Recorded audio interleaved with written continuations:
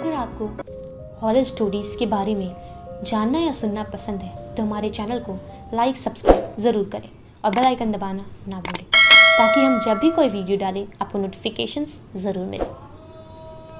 Hi friends welcome back to my YouTube channel आज हम बात करेंगे एनिबल के वॉरन म्यूज़ियम से भागने की खबर के बारे में, जिसने दो दिनों से इंटरनेट को हिला के रख दिया है। क्या लगता है आपको? क्या सच में ये भूतिया गुड़िया एक बंद बक्से से निकलकर हाई सिक्योरिटी म्यूज़ियम से भाग सकती है? एनिबल जो कि पिछले 50 सालों से किसी न किसी कारण से न्यूज़ में रहती है वो पिछले कुछ सालों से मशहूर ईडन लॉरेन वॉरेन म्यूज़ियम में बंद थी। अब आइए जानते हैं इस खबर में कितनी सच्चाई है। वॉरेन म्यूज़ियम की ऑफिशियल चैनल पे आप देख सकते हैं कि एनिबल अभी भी वहीं बंद है और उस वीडियो में साफ़ साफ़ दिखाई दे रही है।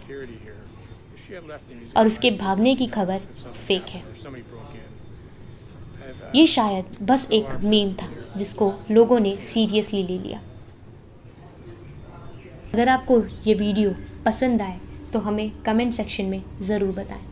और हमारे चैनल को सब्सक्राइब करें और इसे ग्रो करने